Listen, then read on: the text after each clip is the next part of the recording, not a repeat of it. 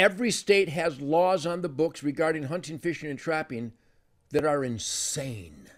We know- yeah, we talked about that. insane. and so, hunters, if somebody tells you you have to have a minimum draw weight for a bow, don't even bother asking them why. Shemane kills everything with 30 pounds. Ann Hoyt killed everything in North America with a 35 pound recurve and a cedar arrow. Minimum draw weight, none of your business.